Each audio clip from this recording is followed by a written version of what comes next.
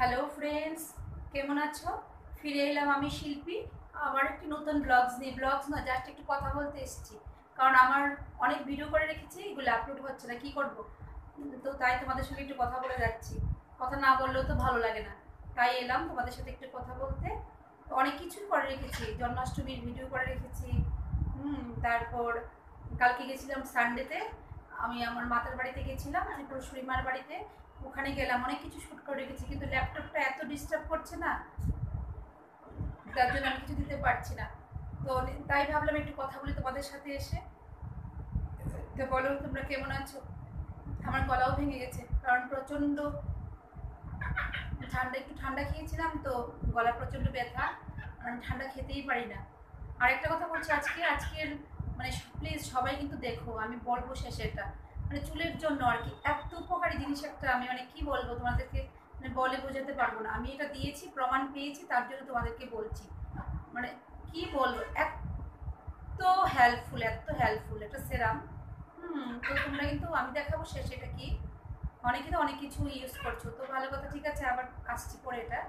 তো তো অনেক কিছু শুট করে রেখেছি, কিন্তু কিছু দিতে পারছি না।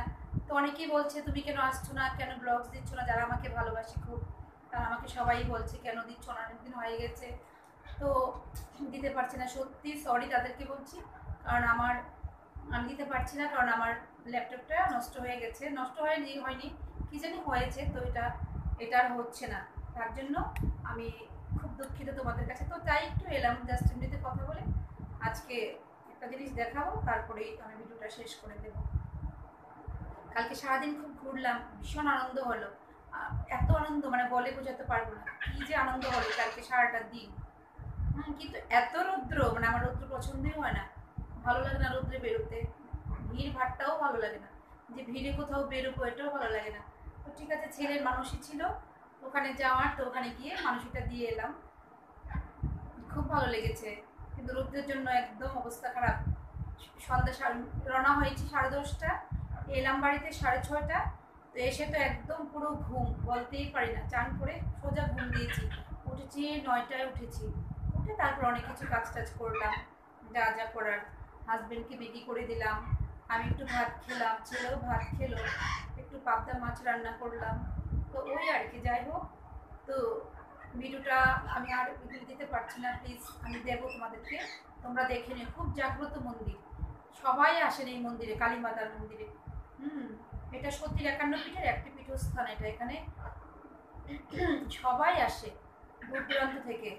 আমাদের প্রধানমন্ত্রী তো আসলেই এখানে যায়। সব সময় যায় এখানে। সত্যি ভীষণ জাগ্রত। সব মন্ত্রীরা এই মন্ত্রীরা কেন সবাই। শুধু মন্ত্রীরা নয়, সবাই যায় মন্দিরে। মাতা ত্রিপুরেশ্বরী মাকে দেখে সবাই দেখে আসে। আর জন্মাষ্টমী দিন আমার ঘরে ছোট্ট একটা গোপাল এসেছিল। মানে কি বলব, ঘুম থেকে উঠে দেখে আমার ঘরে ছোট্ট গোপাল। এত ভালো লেগেছে, আমার দেওয়ারের ছেলেটা এসেছিল। মানে ভীষণ ভালো লেগেছে ওকে দেখে, খুব ভালো লেগেছে। তো ওকে ধান দুব্বা দিলাম, কারণ জন্মাষ্টমী দিনে দিনে এসছে। তো ধান দুব্বা দিলাম, তারপর এই করার জন্য এসেছিল, এরপর চলে গেছে। তো এটাই আমার কাছে বড় পাওনা, ভীষণ বড় পাওনা এটা। তো কালকে গেছিলাম মাকে নিয়ে হাজবেন্ড গেছে, তারপর আমার এক বান্ধবী ছিল, ও গেছে, আর আমার ছেলেকে নিয়ে গেলাম। তো ওখানে খাওয়া দাওয়া করলাম। হুম। একটা নিরামিষ সস্তিনী হোটেল ওখানে খেলাম। সব কিছু নিয়ে বেশ ভালোই হয়েছে। সবগুলো আপলোড করতে মানে ভিডিও করে রেখেছি কিন্তু ছাড়তে পারছি না। অনেক কিছুই, তাই ভালো লাগছে না। তোমাদের কাছে না আসলেও ভালো লাগে না। কী করব বলো? তাই একটু এলাম। আর যেটা বলছিলাম, বেশি বাড়াবো না আমার ভিডিওটা একটা জিনিসের কথা বলেছিলাম, একটা সেরাম তো আমার চুল জানো, বিশ্বাস করবে না, এত চুল উঠছিল। আমি ভেবেছি আমি পুরো পুরো মানে আমি নেড়া হয়ে যাব। আমার ছেলে বলছে, মা, আর অন্তত এক মাস তুমি থাকো, তুমি পুরো নেড়া মাথা হয়ে যাবে। সত্যি আমি মানে ভেবেছিলাম সত্যি আমি নেড়া মাথা হয়ে যাব মানে আমার এত চুল উঠছিল। তারপর আমার মাস্তুতো বোন আমাকে একটা উপায় বলল যে একটা একটা সেরাম আছে, তুমি এটা দিয়ে দাও। ডাক্তারিতে, ডাক্তারি ওর, ওকে ডক্টরে দিয়েছিল। তাই বলছি, ঠিক আছে, নামটা ওকে নামটা দিল। তো আমি সঙ্গে সঙ্গে হাজব্যান্ডকে বললাম, ও নিয়ে আসলো। তারপর আমি এটা দিতে শুরু করলাম। কি বলব, এটা মানে আমি মানে এক মাস দিয়েছি তো তো এখন আমি রেজাল্ট পাচ্ছি। আমার চুল ওঠা তো বন্ধ হয়েই গেছে। চুল ওঠা তো একদম বন্ধ হয়েই গেছে।